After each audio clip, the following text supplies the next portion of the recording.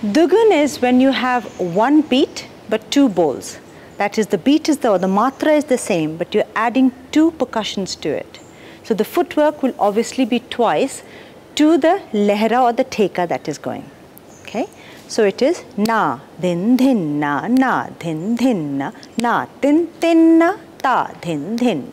Na, din, din, na, na, din, din, na, na, din, din, na, ta, din, din ta thei thei tat a thei thei tat ta thei thei tat a thei thei tat ta thei thei tat a thei thei tat ta thei thei tat a thei thei tat ta. Let's try this to the music.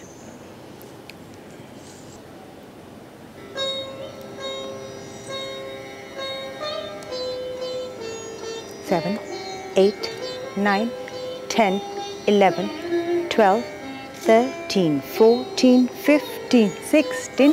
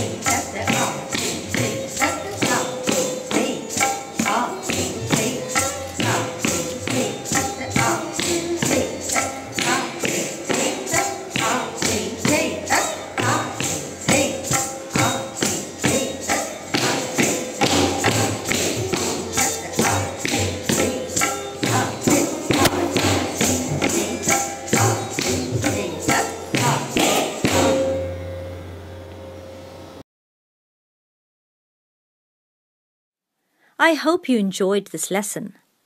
I will be uploading a new video every Wednesday. So, subscribe to this channel and stay connected. You can also like, comment, share and send your feedback. Happy dancing!